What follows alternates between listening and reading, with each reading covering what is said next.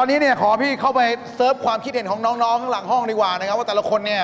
มีความคิดเห็นยังไงบ้าง ดีเลยค่ะ งั้นยกเวทีให้กับพื้นที่หลังห้องเลยนะคะ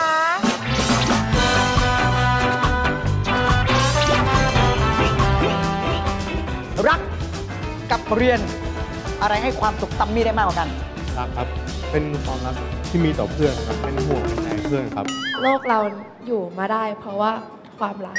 รักค่ะ ความรักมันทำให้เรามีความสุข เป็นกำลังใจให้เราทำอะไรหลาย ๆ สิ่งค่ะ อ๋อเรื่องของความรักเรามีมุมมองว่าไงบ้างครับ ในอนาคตก็มีได้ ครับผม แต่เรื่องการเรียนสำคัญกว่าเพราะว่า สร้างอนาคต น้องเขาดูเหมือนเป็นเด็กขี้อายนะครับ ไม่จริงเลยไหมครับ ความรักสำคัญกับเฟียสมากน้อยขนาดไหน ทุกจังหวะของชีวิตนะครับ เกิดมาก็มีความรักจากพ่อแม่แล้ว อ่าตอนตายก็ยังมีความรักอีก ยังไงครับตอนตายมีความรักยังไงไปงานศพไปงานศพเพื่อนอะไรอย่างเงี้ยอ๋อโอ้ครับน้องๆที่นี่ให้ความสำคัญกับทั้งสองอย่าง แต่ว่ารู้สึกว่าความรักเนี่ยจะสำคัญกว่าสักนิดหนึ่งในเชิงของการให้ความสุขกับเรา